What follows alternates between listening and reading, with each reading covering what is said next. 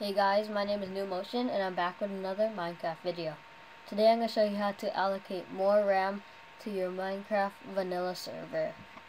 Now this might be really simple for you guys, for some people, but I know there are people out there who don't know how to allocate more RAM to their servers and those are the people I'm aiming for.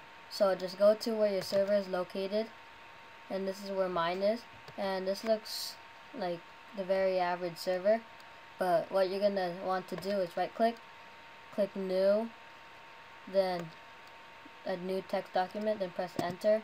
You don't have to name it anything because we're not going to be needing this. Then copy this um, quote that's in the description and then just paste into this test doc text document.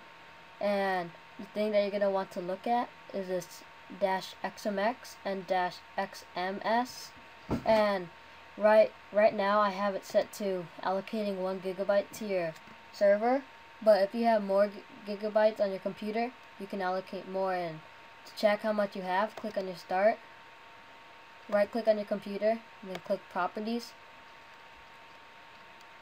Then over here you will see that you, in here is installed memory your RAM and it will say your your gig how much you have. I have four gigabytes so I can allocate like two.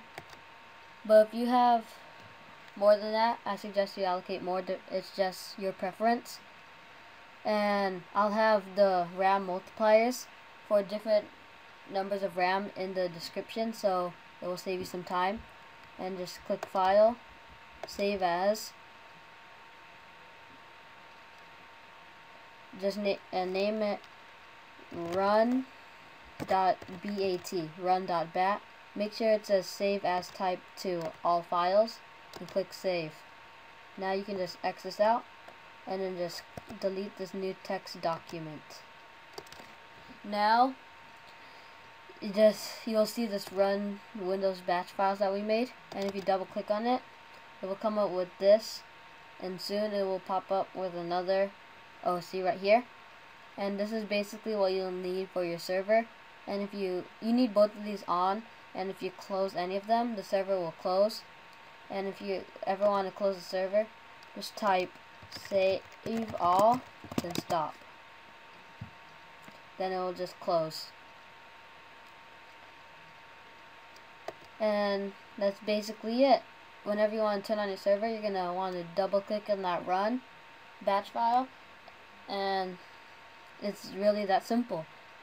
Just be sure to thumbs up, favorite, and subscribe to me as it helps me out a lot. And I'm sure you won't regret it. I'm New Motion. Have a nice day. See ya.